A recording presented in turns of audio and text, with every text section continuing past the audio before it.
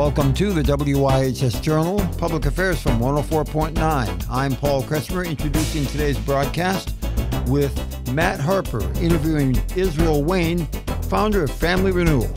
104.9 WIHS. We're delighted to have on the line today Israel Wayne from Family Renewal. Israel is an author, conference speaker, and the director of the Family Renewal Ministry. He and his wife Brooke are raising their 11 children in southwest Michigan. Israel, welcome. Thank you. It's great to be here. First of all, I want to hear the story of God working in your life. Just take a brief minute and tell us how you came to faith, how you met your wife, and a little bit about those amazing kids. Well, thankfully, my wife and I both came to have a relationship with Christ at a young age, and uh, we were able to um, get married uh, somewhat young. I was 23, she was 20. We were both believers. Um, we have 11 children that uh, God has blessed us with, and I've been a full-time uh, author and conference speaker for about the last 30 years. So I've been doing it for a long time, and I'm very excited to be bringing a Christian parenting conference to Connecticut. We're eager to have you up in this neck of the woods. I know in pre production we were kind of laughing about the fact that no one just goes through New England. You kind of have to be coming here as a destination. And we're so grateful that God's going to give us the chance to hear some of the message that you've been preaching all these years. On your bio, You've certainly been on the circuit on numerous television and radio programs throughout the country. What's the real heartbeat of the message that you like to communicate when you get a chance to speak to a mass audience? One thing that's been concerning to me as we've watched the Christian church over the last 20 or 30 years is how many young people are raised in Christian homes, raised in church, but somewhere around high school graduation or their early college years, they walk away from the beliefs and values of their parents. And I've studied all the research on this, and I believe that it is possible for us as Christian parents to not have our children grow up and be a statistic. Obviously, we don't have total control over that, but there are definitely inputs. There are things that we can do as parents to help prepare our children for the hostile secular culture that they're going to enter. And so that's what we want to try to do to raise their children in the Christian faith with a biblical worldview. Boy, that's so needed today. I want to talk about the upcoming conference in South Windsor, Connecticut. But first, tell our listeners a little bit about Family Renewal. Maybe how you got started with that and the way God put that on your heart and how you've seen God build that ministry. My mother actually started a Christian publishing company back in 1988 and so I grew up in the Christian publishing world. I've spent most of my adult life working in that field. And so um, I began uh, speaking at conferences and writing books at a, a young age and um, have, have had a, a great desire to help teach parents how to disciple their children. I think there are a lot of parents who have leaned more heavily than they should on trusting the church to do the spiritual training and formation of their children. And we're thankful for the church. We're grateful for what the church does. But unfortunately, parents who have just assumed that they're getting all their spiritual training at church have come to find out after the fact that that wasn't sufficient. And so part of what Family Renewal does is we help to equip families to learn how to effectively take responsibility for the discipleship of their own children and not to just assume that they're going to get it through some other source. Boy, I love that message. And I can see why it's so important to be out there giving your life to spreading that kind of a message. Thank you for what you do. I'm looking at the topics that are going to be coming up in October here. On October 27th, there's a discipleship parenting conference. Israel Wayne will be the featured speaker. And that's going to be at the Truth Baptist Church in South Windsor, Connecticut.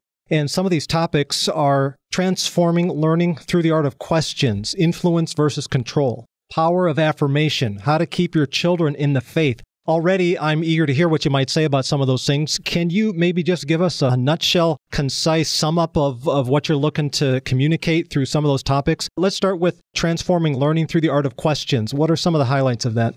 Absolutely. Well, I think a lot of times what we do is we lecture our children and we talk at them and sometimes if we do that too much, they learn to tune us out. But one of the things that I've learned from Jesus and the example of how he discipled his disciples was by asking questions. And so this session teaches us how to be better teachers, not through lecturing, but through asking questions of our children to draw out their own beliefs and assumptions.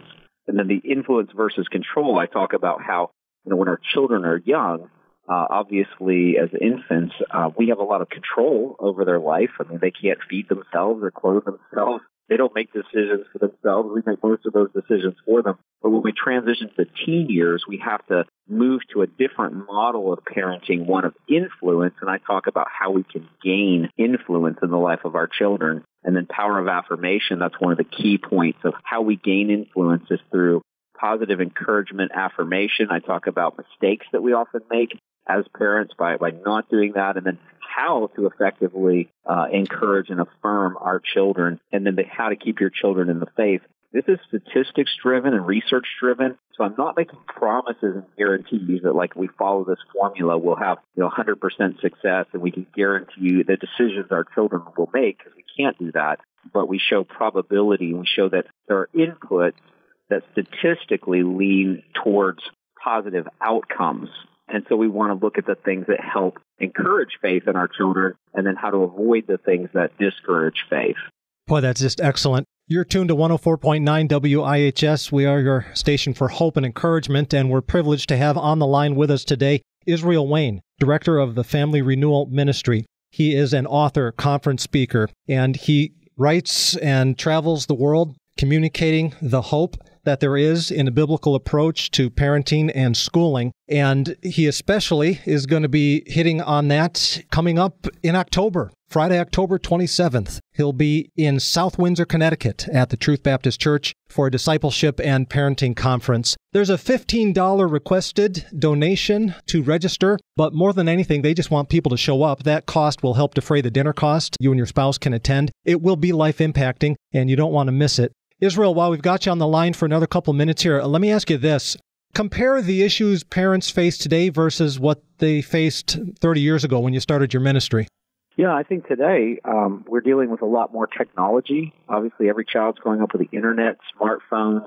Uh, there's a lot more uh, online danger, you know, I think than what there was when, uh, you know, a lot of us were growing up in the 80s and 90s. And so there's a lot more uh, dynamics there. And of course, we have resources that address those issues as well. So we hope that people can register, uh, maybe bring along friends that are Christian parents that might benefit from this event. We would love to see everyone there. Please do sign up. Where can they go to register? Yeah, there's a website called teachct.org, teachct.org, and there is an events tab.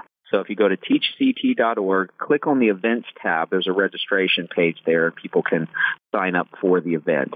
And that conference, again, is going to be at the Truth Baptist Church in South Windsor, October 27th. It's from 1 p.m. to 8 p.m. Dinner is included with a $15 donation for you and your spouse. Like Israel has said, bring some friends who may need to be encouraged by this content as well. Israel, last question here for you, and I just really want to get your heartbeat. Let's say you're sitting alone in an office with a family and they're struggling and you don't have long with them, but if you were to give them the most essential thing to remember, what would you tell that family? I think the most important thing from a parenting standpoint is that we can't pass on to our children what we don't have. And so if we want to pass on a Christian faith to them, we have to model that. More than anything that we teach them or tell them, they have to see the reality of a relationship with Christ in our daily life and I think that will say far more than what we say with our words. We want to teach them with our words, but more than anything, we want to exhibit a Christ-like attitude as we live with them each day in our home. Amen. For great content like this all afternoon, be sure to make the Discipleship Parenting Conference, the Truth Baptist Church in South Windsor on Friday, October 27th, 1 p.m. to 8 p.m. $15 donation requested to cover the expense of the dinner. And again, Israel, tell us how they can register. They can go to teach teachct.org, look for the events tab, and sign up online. So teachct.org. Thank you so much for giving us your time. What a privilege to talk with you, and we hope to cross paths with you next time you're in New England. Blessings, brother. Thank you so much. For more information about what you heard today, call us at 860 346 1049, 860 346 1049, or mail us to office at wihsradio.org office at wihsradio.org. The opinions expressed are those of the participants, not necessarily those of the staff or management of the station. For Israel Wayne and Matt Harper, I'm Paul Kretschmer. The WIHS Journal is public affairs from 104.9 WIHS.